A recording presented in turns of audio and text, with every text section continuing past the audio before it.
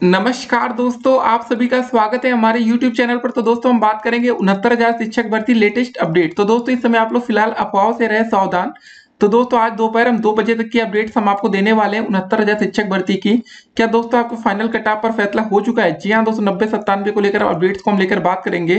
क्योंकि आपको जैसे दोस्तों, आपको पता होगा कि तीन नंबर कॉमन मिले या दोस्तों, तीन नंबर कॉमन कटे।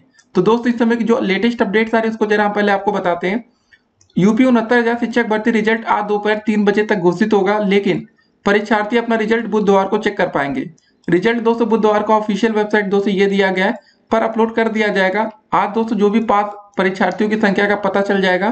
परीक्षा नियमक प्राधिकारी के सचिव अनिल भूषण ने कहा है कि रिज़ल्ट करीब करीब पूरी तरह से तैयार हो चुका है। रिज़ल्ट ठीक है दोस्तों, एनआईसी के ज़रिए आधिकारिक वेबसाइट पर बुधवार को अपलोड किया जाएगा। रिज़ल्ट की दोस्तों सीडी लखनऊ भेजी जाएगी, जहाँ से इसे एनआईसी द्वारा अपलोड किया जाएगा। तो दोस्त, इसकी जो कैसेट है सीडी दोस्तों, जो बनाई गई है, जितने छात्र पास या फेल होंगे सभी चीज़ों को लखनऊ भेजा जाएगा और लखनऊ से दोस्तों ये कैसेट अपलोड की जाएगी। तो दोस्तों खबर का सोर्स है लाइव हिंदुस्तान, वहाँ पर आप जाके चेक कर सकते हैं। तो इस समय की सबसे बड़ी अपडेट से दोपहर दो बजे तक दोस्तों अभी तक आपका रिज़ल्ट अपडेट नहीं हुआ है। फ़िलहाल अगर आपको कोई अफवाह फैला रहा है तो आप उससे सावधान रहिए, बाकी देखिए।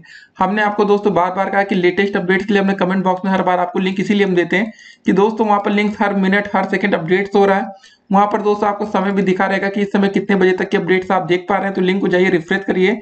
और दोस्तों, बिल्कुल नहीं होता है।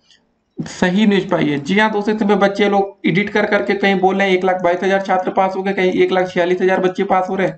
ये अफवाह से आप सावधान रहे। फिर मिलते हैं अगली वीडियो में। तब तक के लिए स्टे कनेक्टेड